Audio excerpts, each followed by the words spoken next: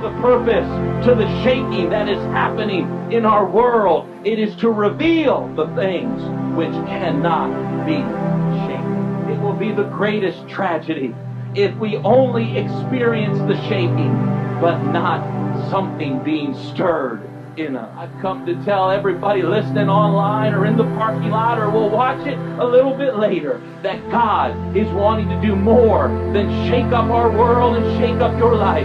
God is wanting to stir something in His church. God is wanting to stir something in His people. God wants to do more than just see you shaken. He wants to see you stirred in this hour. God, don't let us be shaken and not stirred to the good works uh, that you've called your church to.